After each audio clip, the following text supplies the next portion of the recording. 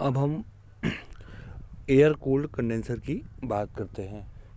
इसके पहले हमने कंडेंसर के बारे में जानकारी इकट्ठा की थी। उसका वर्गीकरण पढ़ा था। तो कंडेंसर के वर्गीकरण में हमारा पहला जो टाइप है, वो है air cooled condenser air cooled condenser में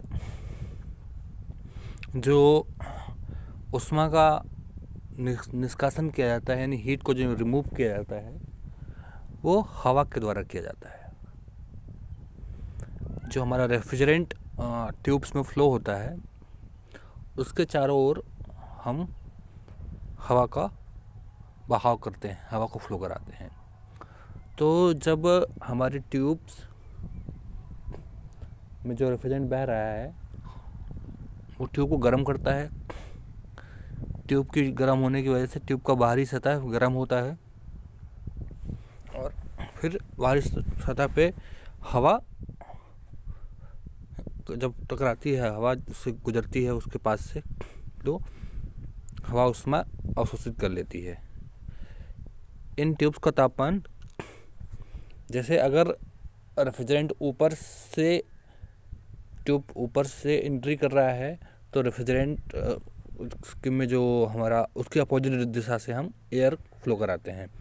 मतलब एयर हमारी नीचे से इंटर करेगी। जिससे क्या होगा धीरे धीरे जो हमारा रेफ्रिजरेंट है, उसका तापमान नीचे आने पर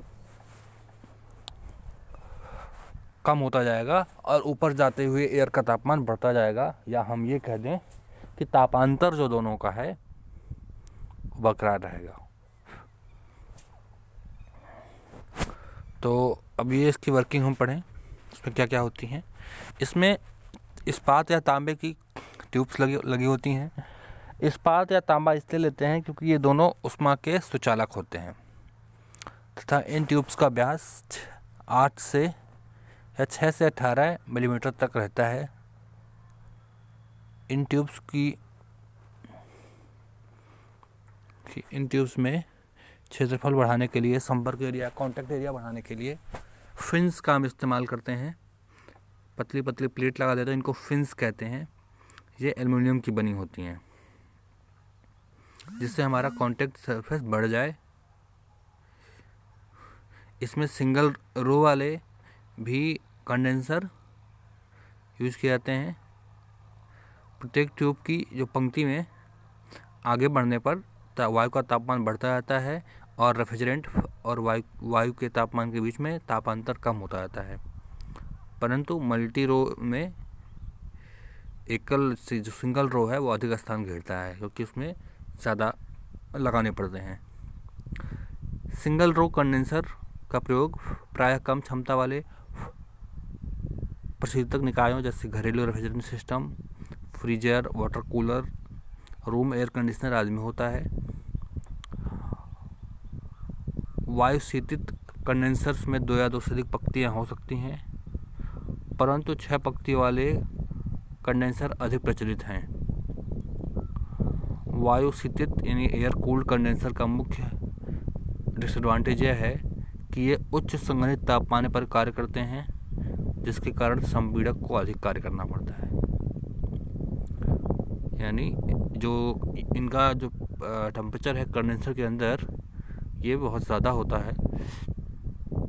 इसकी वजह से कंप्रेसर को बार बार या ज़्यादा अमाउंट में रेफ्रिजरेंट को पंप करना पड़ता है, जिससे उसका तापमान कम नहीं होता, उसका तापमान बढ़ा ही रहता है।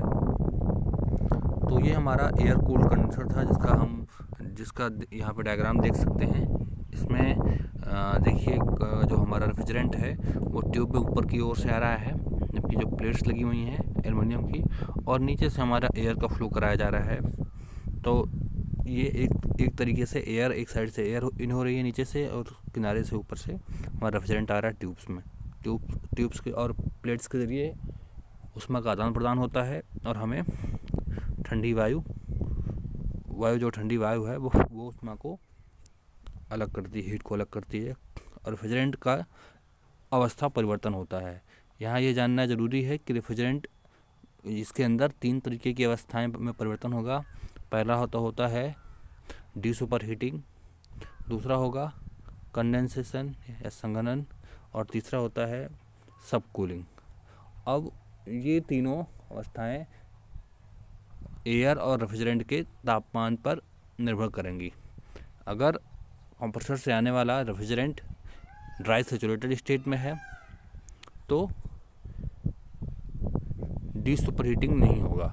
तब केवल और केवल कंडेंसर कंडेंसेशन और सब कूलिंग पॉसिबल है। लेकिन अगर जो एयर आ रही है उसका तापमान सेचुरेशन सेचुरेटेड लिक्विड के तापमान से बराबर है तो केवल इसमें एक ही प्रोसेस होगा और वो कंडेंसर हो कंडेंसेशन होगा, यानी संघनन होगा। अगर एयर आने वाली एयर का तापमान जो है सिचुएशन तापमान से कम है तो सब कूलिंग भी होगा। तो ये था हमारा एयर कूल कंडेंसर आगे हम वाटर कूल कंडेंसर की बात करेंगे, कैसे कैसे, उसमें क्या होता है, क्या होती है। एयर कूल कंडेंसर दो दो भागों में हम डिवाइड कर सकते हैं, पहला है सिंगल रो और दूसरा है मल्टी रो सिंगल रो में डिसएडवांटेज ये होता है कि इसके में, इसमें कई सारे हमें सिंगल रो लगाने पड़ते हैं और इसकी एफिशिएंसी भी कम होती है। मल्टी रो में स्पेस कम लगता है लेकिन इसकी कंस्ट्रक्शन थोड़ा सा डिफ़िकल्ट हो जाता है और उसका इसीलिए इसको हम यूज़ करते हैं। लेकिन इसकी एफिशेंसी अच्छी रहती है। Thank you very much